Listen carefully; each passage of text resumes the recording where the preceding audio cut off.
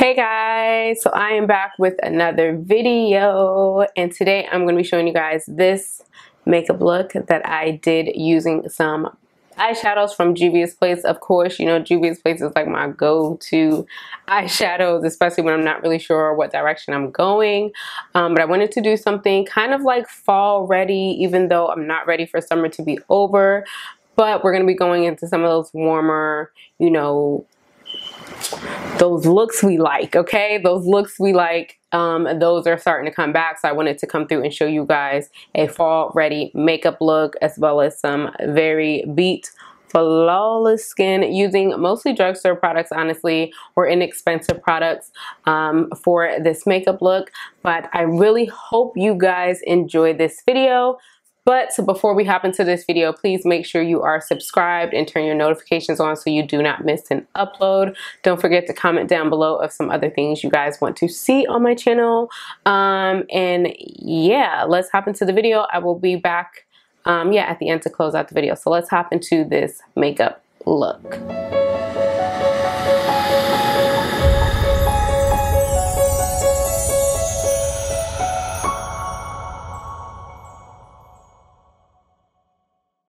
So first I'm going in with the Too Faced Born This Way Multi Sculpt Concealer in the shade Maple to prep my eyelids. And I just use my Beauty Blender to blend that out.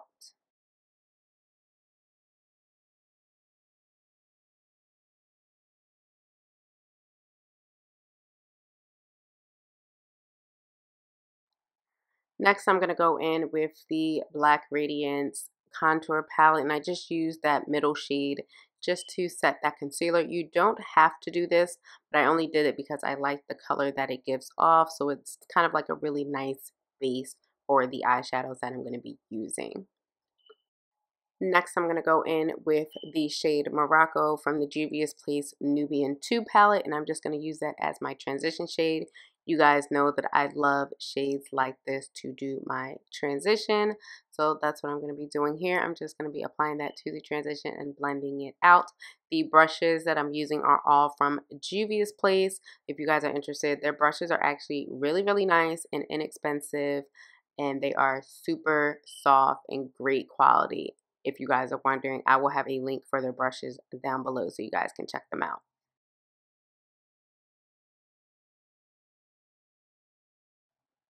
Next, I'm going to go in with this yellow shade from the Juvia's Place Wahala palette Oversabi.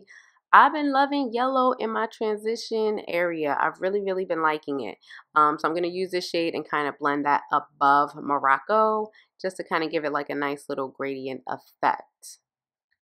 Next, I'm going to go back into the Juvia's Place Nubian 2 palette and I'm going to use the shade Kenya and I'm just going to use that to apply that to that outer feet area before I get to my lid and I'm just gonna kind of blend it in not too deep into the crease I don't know I don't really like deep crease colors um, so I usually only apply them kind of on like that outer V area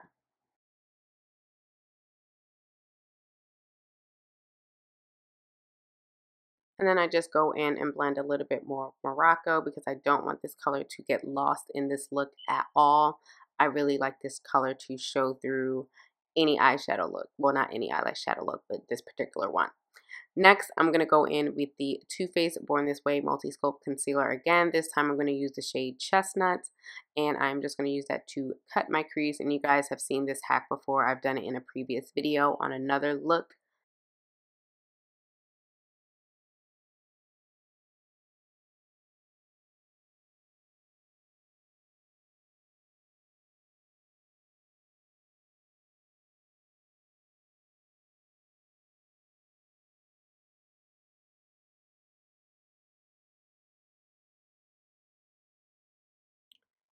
Next, I'm going to go in with this green shade from the Wahala palette, and I'm going to use the shade Fighter, which is such a pretty green. Again, I'm using a brush from Juvia's Place, which this is like a really good brush um, just to get into like very like detailed, so I'm not um, messing up that cut crease. So I'm going to go in with that.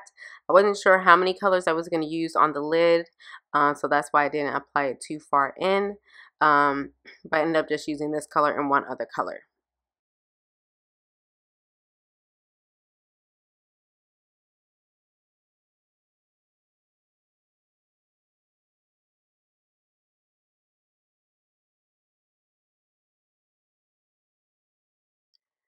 Next, I'm going to go in with the shade Gossip in um, from the Wahala palette as well, and I'm going to apply that next to that green. And I do actually end up bringing this color all the way into um, the rest of the lid. I kind of really loved how this shade looked. So I ended up um, applying it all the way in, which you guys will see in a minute. Um, but originally I thought I was going to go in with one more like shade, but I didn't. Um, so that's why you kind of see that inner portion still left blank. But I do go in and fill that in with this shade, this same color as well.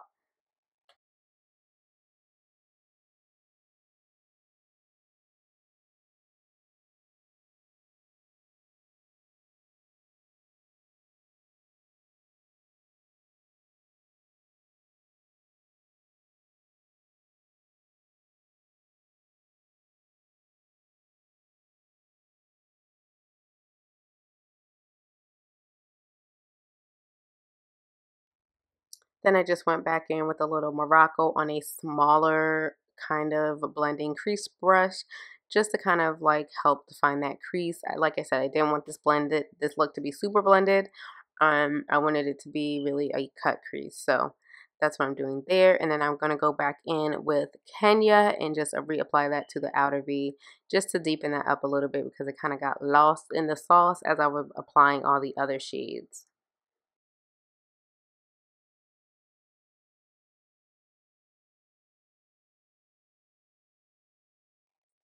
So next I'm going to start working on the complexion. My favorite parts, I'm going to be going in with the Black Radiance Orange Corrector. And I'm just going to apply that on my upper lip, underneath my eye. And I'm going to blend that out with a brush from Juvia's Place. This brush is bomb. This red brush set, they're, they're bomb. I love all these. I love all of their brushes, but I really like this particular one for blending out that concealer underneath my eye. Just It just really did a really, really good job of um, blending all of that out.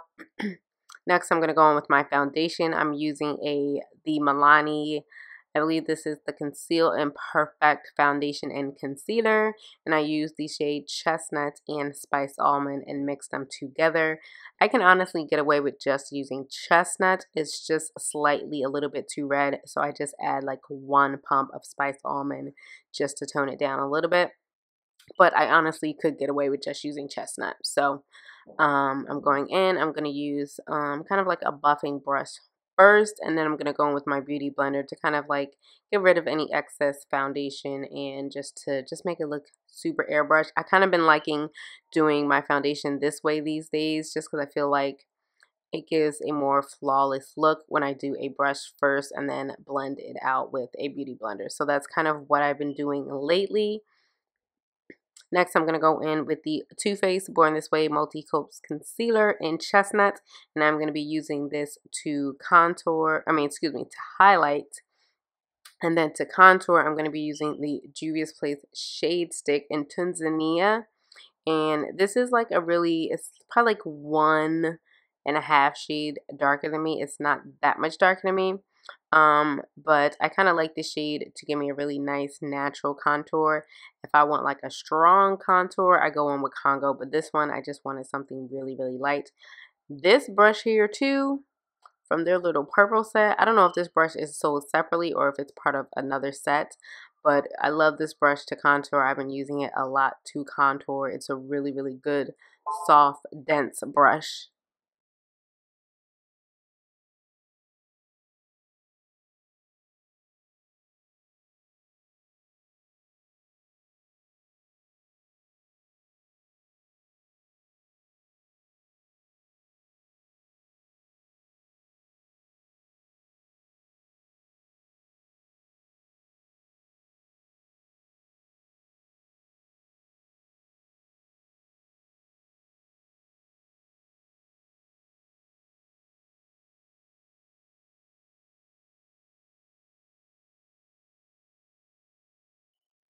To set my concealer, I went in with the Black Opal Finishing Powder. Actually, no, this is not the Black Opal Finishing Powder.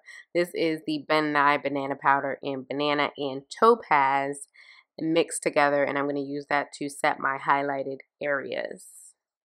Again, when I set my under eye and all those other places, I tend to not use a sponge right now. I use a brush.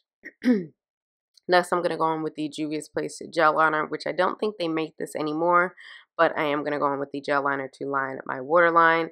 And then I just go in with Kenya and Morocco and apply those to my lower lash line. You know, that's kind of something I always do, kind of repeat my transition slash crease or out of V shades on that lower lash line just to tie the look together.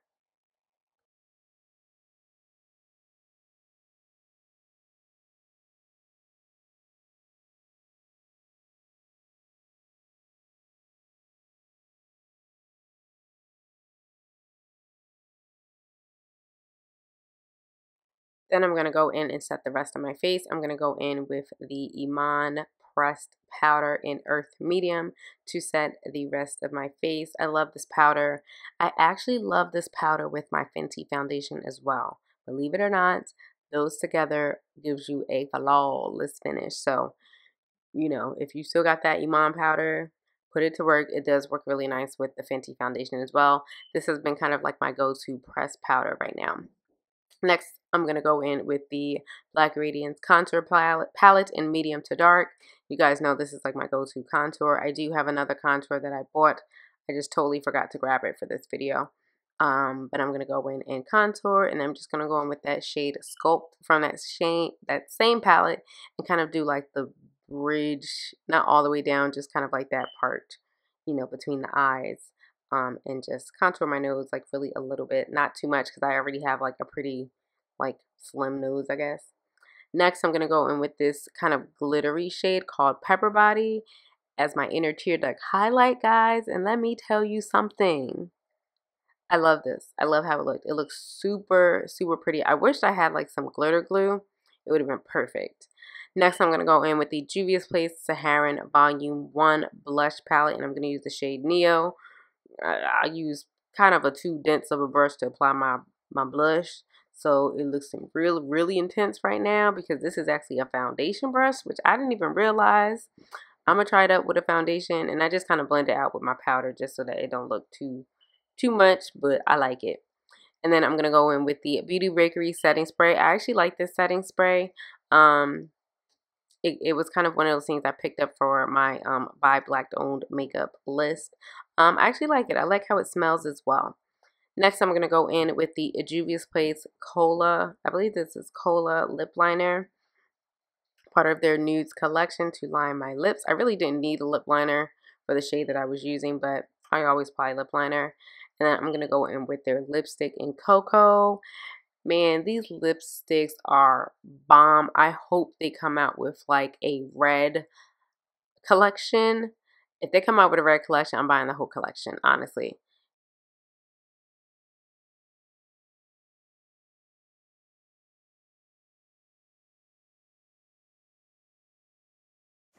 Okay, so this is the completed look, guys. I love how this turned out. It looks super pretty, super flawless. Like this, the skin is giving me everything. The eyes are giving me everything. The lips, everything is just popping. I love how it turned out. I hope you guys enjoyed it as well.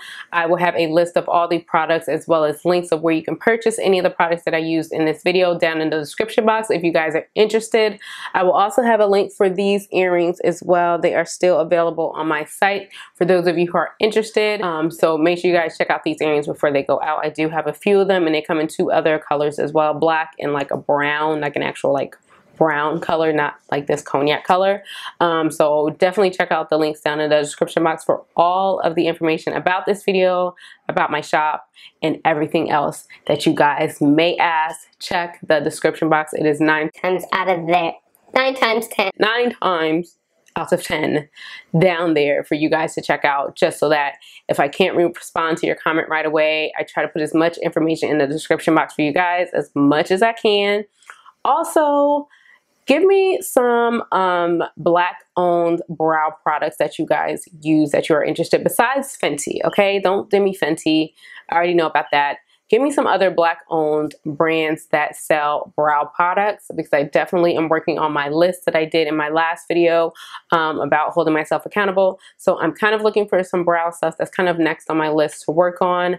Um, if you guys want to update on my list, um, follow me on Instagram. I kind of update as I go along, as I buy things, and I will post and cross out things from the list. So follow me on Instagram if you guys want to keep up on that as well. And yeah, um, I hope you guys enjoyed this video and I will see you guys in my next one. And if you guys ask me about my hair, honestly, this is just a blowout that I just did for Big Bantu Knots. And I didn't film it. I have a blowout video of how I blow up my hair. So I will have that, that video linked in the cards. I think it's over here, over there. One of these. I will have it linked in the card section for you guys to check out my blowout routine. I have one. It does, it rarely, rarely, rarely rarely changes. So I will have the most recent one um, linked so you guys can check that out. And I use my mango butter to do my Bantu knots just so you guys know. And yeah, I hope you guys enjoyed this video and I will see you guys in my next one. Thank you so much for stopping in and checking out my channel and I will see you guys next time. Bye guys.